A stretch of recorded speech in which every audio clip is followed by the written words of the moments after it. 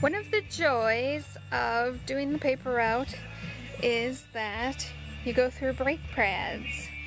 And one of the handy things of having Larry around is that he's the handyman and he knows how to do mechanical things. And sweetheart, show him how Okay, about the brake pads. this is how we do the paper route. This will happen within three or four months. We get this result. Show him what a real one looks like. This is the real one. You see the difference? Oh my. So it's, it's time. When they start, we start rubbing against the uh, rotor, that means the brakes are going bad. It's time, for, time for the handyman to come out, do his handyman thing.